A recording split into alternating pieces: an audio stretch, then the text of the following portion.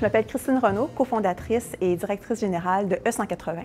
Et E180, qu'est-ce que c'est? C'est une plateforme de jumelage pour les gens qui ont envie d'aller prendre un café pour échanger des connaissances en personne. Et cette offre se décline aussi auprès des groupes qui ont envie d'offrir un espace de jumelage exclusif pour leurs membres pour favoriser l'échange de connaissances entre les employés d'une entreprise ou les participants à un congrès, par exemple. Dans cinq ans, j'imagine E180 être la plateforme par excellence pour l'apprentissage par les pairs à travers le monde.